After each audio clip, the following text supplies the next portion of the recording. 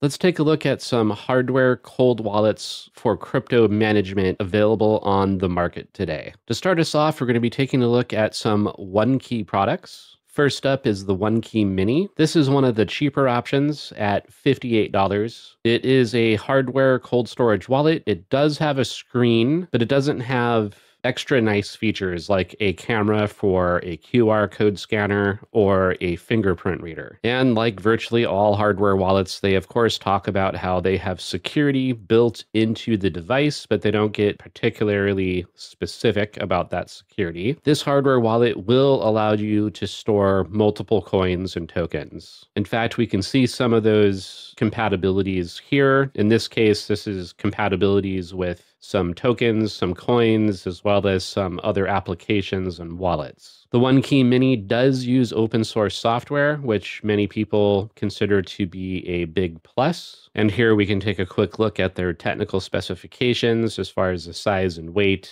size of the screen and the just the style of input that you have which is represented just by these buttons that are on the device. Moving on from the OneKey Mini OneKey also has the OneKey Classic which looks a lot like the OneKey Mini. It's a little bit more money. This is another hardware cold storage wallet and this wallet is also relatively small in terms of its physical size. It's only three millimeters thick weighs less than an ounce and so it shouldn't weigh you down although not a lot of people travel on a regular basis with a hardware wallet on their person. This is one of the hardware wallets that does offer Bluetooth connectivity for those of you that might prefer Bluetooth.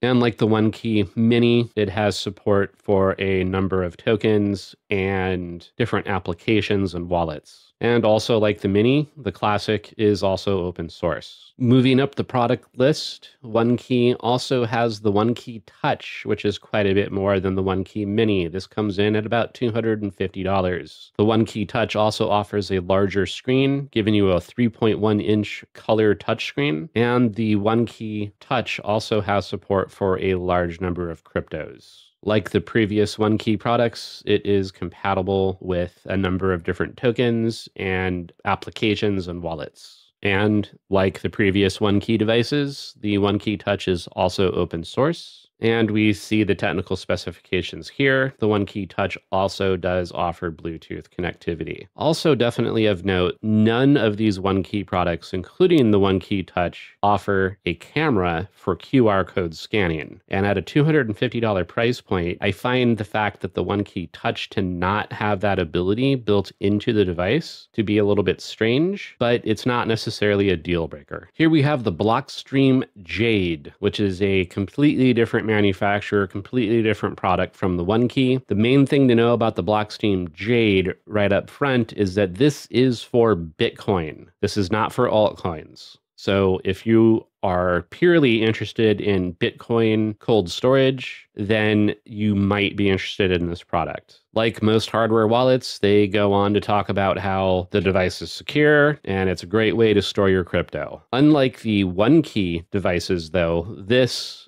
Blockstream Jade does actually have a camera for QR code scanning, and it does not have USB or Bluetooth connectivity requirements, although it does offer Bluetooth if you so choose to use Bluetooth. The screen on the Blockstream Jade is a 1.14 inch IPS LCD, which is large enough to be usable, but still a little bit on the small side. And you'll see here Blockstream Jade's comparison chart with popular wallets like the Ledger and the Trezor. And you'll see here that the Blockstream Jade is $65. So the price is certainly an attractive detail if you are interested in simply storing Bitcoin and no altcoins. If you're interested in storing Bitcoin as well as other tokens and coins, there are, of course, other wallets that you can purchase, one of which is the Zero or the Ngrave Zero. One of the things that you'll notice immediately about the Ngrave Zero is it does have a full color screen and it also does have a camera for QR code scanning. The Ngrave Zero also gives you biometric security by scanning your fingerprint. The other thing about the Ngrave Zero is that most hardware wallets are EAL 5 with their secure element chip, or in other words, their secure element chip meets EAL 5 security standards. There are some wallets that are EAL 6, many are EAL 5 but the Ngrave Zero is actually EAL7. However, one of the problems with the Ngrave Zero is the price. The price of it is, well, as you can see here, it's $400 for the device. Their graphene mnemonic phrase or seed phrase or, or keyword backup solution is rather pricey. It's $150. Although if you buy it with your Ngrave Zero, you can get it for only $100. For people that are looking for a good value with good options and features, the SafePal S1 is a pretty good wallet to consider. At only $50, it offers actually quite a bit. For one thing, the SafePal S1, although it's not a touchscreen, and the screen itself is still only 1.3 inches, even though the device clearly has space for a larger screen. It at least has a color screen and it has a multi direction keypad that you can use to click around. Whereas a lot of simplistic hardware devices like the Ledger and the Trezor Model 1, the, Pre- the Trezor Model T, you know, they only have like one or two buttons. Now, the, the Trezor Model T does have a touchscreen, but the screen is, is small. I think it's just a little bit bigger than the SafePal S1. And the Trezor Model T is also something like $180. The SafePal S1 has the stamp of approval from Binance Labs. And as I mentioned earlier, most hardware wallets that do use a secure element chip rather than some other proprietary security mechanism, many of them are EAL5. The SafePal S1 is EAL5 Plus as you can see here. So the SafePal S1 also has no Bluetooth, no Wi-Fi, no Ethernet, no NFC, and does not require a USB connection, although it does use USB to charge, but it's not a data port. The SafePal S1 also supports a pretty wide range of coins and tokens. For example, one that you may or may not have heard of would be SafeMoon. You know, this does support SafeMoon. Personally, I'm not a holder of SafeMoon, but I do know one or two people who are, and they might be interested in this product for the simple fact that they can transfer SafeMoon to this device. And again, you get a comparison chart where they will, of course, compare themselves to the most popular wallets on the market, which are made by Ledger and Trezor. And you'll see that right off the bat, the SafePal S1 costs less money. It's also the only one out of these wallets that they are comparing that offers QR code scanning. And it's also the only air gapped wallet, whereas the ledgers and the Trezor require you to plug them in via USB to your computer. Although, yes, it does have a full color screen, it's only 1.3 inches, which is a little disappointing. I actually kind of wish that they would make a SafePal S2 virtually the same, only doubling the size of the display and maybe possibly even making it touchscreen, which may or may not be all that useful with still a rather small screen. And, you know, just charging an extra 20 or $30. You know, it would still be a very reasonable price and it would have a larger screen. On the flip side, a smaller screen like this is probably less prone to cracking or breaking. Although at the same time, why are you carrying your hardware wallet in a situation where it is likely to get cracked or broken? One of the more interesting hardware wallet choices on the market today is the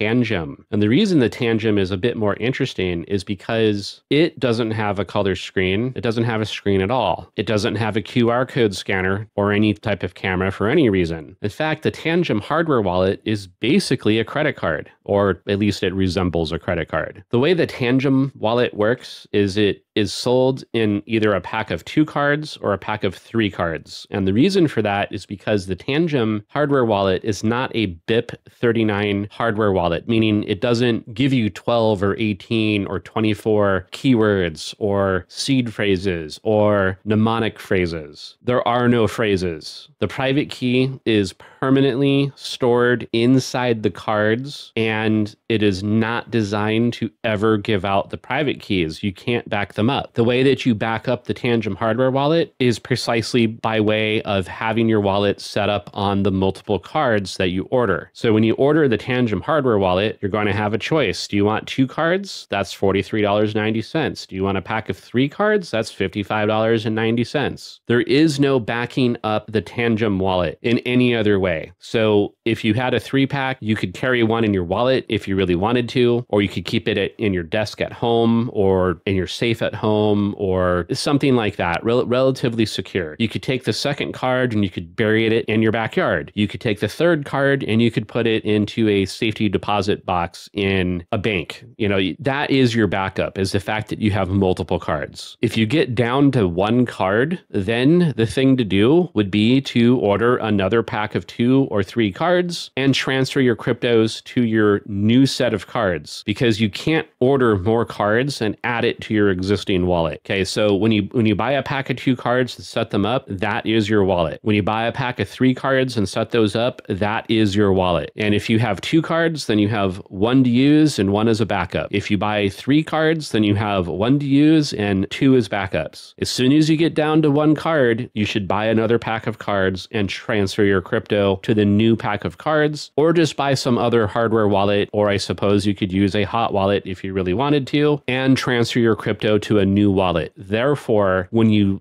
lose the last card in your set or it gets damaged or stops working, you still have access to your crypto because you've already transferred it to another wallet. And I just wanted to talk about the Lattice One available from Grid Plus. And as you can see here in the image, it is a much different looking wallet. You know, it's something that is designed to pretty much just sit on your desk. And this card that you see on the right hand side that's labeled Safecard, that's actually primarily for backing up your private keys from your wallet. Although I'm pretty sure you can use the Safecard as a wallet as well. I'm not 100% clear on that. I haven't purchased or used one of these personally. However, I have seen a few demonstrations and a few reviews. And and I personally am not that interested in this. And there's a few reasons for that. The first reason is that it is a relatively large device that is made to sit on your desk. Hardware wallets usually are the kind of thing that you want to tuck away or hide or secure somewhere. You're not usually using your hardware wallet very often, unless you're, you know, like a day trader, possibly. But for the most part, you, you put your hardware wallet away. You know, maybe in a couple days you get it out when you want to buy some crypto, transfer transfer it over to your hardware wallet or transfer some crypto from your hardware wallet to an exchange to sell it or you know something of that nature. Not not just simply have your hardware wallet sitting on your desk at all times. The other thing that i'm not real crazy about with this product is although yeah it, it gives you a five inch touchscreen but it's not color. And i get that you don't need color but it's 2023 this is this is an expensive product. It's I think it's like four or five hundred dollars. We'll take a look at that here in a moment. And it doesn't even have a color screen. Another thing that I'm not really crazy about with this particular hardware wallet is hardware wallets typically are cold storage. Cold storage means that they do not connect to the internet directly. This, on the other hand, does. It has an Ethernet port on the back to plug in a network cable, and it also supports Wi Fi. So this is a hardware hot wallet which is odd.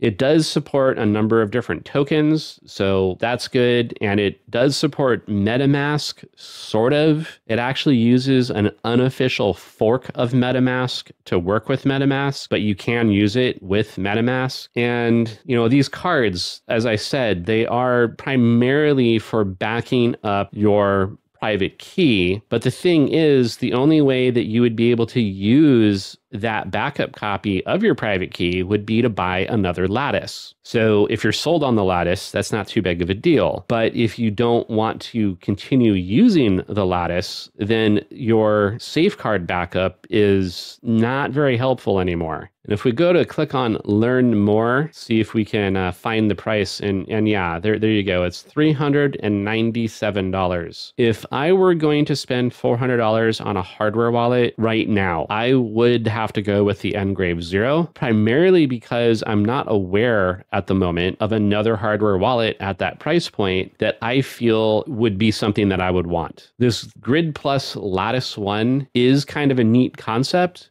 but between its large size, made to sit on your desk all the time, the fact that it, it has internet connectivity, and the fact that it's $400, I'm not really super interested in this. Next up, we have Keystone, and Keystone has two primary offerings for their hardware wallets currently. They have the Keystone Pro and the Keystone Essential. They are basically the same device. The Keystone Pro has a fingerprint reader, it comes with a rechargeable battery, and it also has a self destruct mechanism that the Essential model does not have. Both the Keystone Pro and the Keystone Essential have a four inch touchscreen, and they both come with a camera for QR code scanning. Keystone also integrates with MetaMask and supports a wide range of cryptocurrencies. In fact, they advertise that they have support for over 5,500 cryptocurrencies. Of all of the wallets that we've talked about today, the three that I have the most interest in are definitely the SafePal SL1. In fact, I do own a SafePal SL1, the Tangem, and one of the things that I neglected to mention previously is the Tangem is actually EAL6